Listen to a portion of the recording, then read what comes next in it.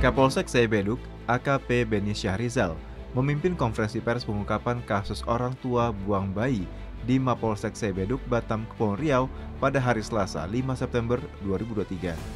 Pelaku yang diamankan berinisial UA, berusia 20 tahun yang tak lain adalah ibu kandung bayi tersebut. Kasus ini berawal dari saksi yang melihat tas putih dalam tong saat saksi hendak mengganti plastik tong sampah Saksi yang curiga lalu membuka tas putih dan terkejut karena di dalamnya ia melihat bayi dalam kondisi sudah tidak bergerak. Setelah menerima laporan ini, Unit Reskrim Polsek Saibeduk mendapat informasi dari masyarakat bahwa diduga pelaku pembuang bayi yakni pelaku A sedang berada di Ngawi, Jawa Timur. Kita dalami, tersangka pengennya tidak diketahui orang supaya dia bisa bekerja kembali di perusahaan tersebut hmm. karena perusahaan tersebut tidak menerima uh, orang yang sedang hamil atau yang sudah melahirkan.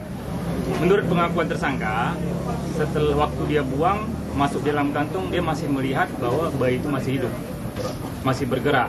Nah, dia masukkan langsung ke kantong plastik, dibungkus sama handuk, langsung dibuang di tong sampah.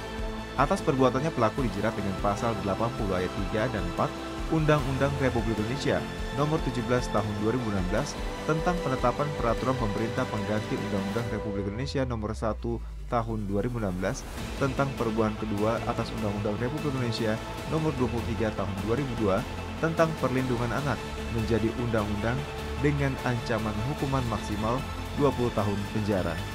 Tim Humas Polsek Sebeduk Polresta Barelang, Polda Kepulauan Riau, melaporkan untuk Polri TV.